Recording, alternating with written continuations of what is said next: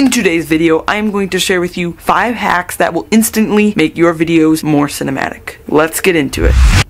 Number 1 is using widescreen bars. Widescreen bars, otherwise known as letterboxes, are used to draw your viewer to the subject. And it also makes an easy way for your videos to be more cinematic. Just look at these two clips.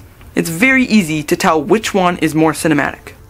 Number two is using a shallow depth of field. That basically means that you're blurring the background and making it more easier for your audience to tell the difference between the subject and the background. You can do this too by opening your aperture to 2.8 or lower. Now, here is an example of two clips, one with a shallow depth of field and the other is very flat and no depth.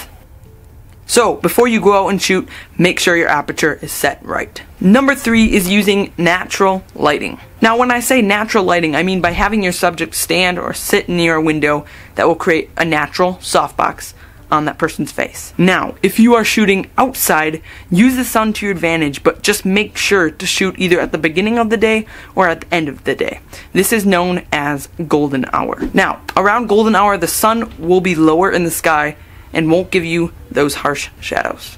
Number four is shooting in 60 frames per second. Shooting in 60 frames per second or higher will just give you a smooth, slow motion that overall gives you just a more cinematic feel. Number five is shooting in a flat profile. Shooting in a flat profile will give you tons of color grading opportunities when you get into post. Here are a few examples of turning a flat profile image into a color graded one.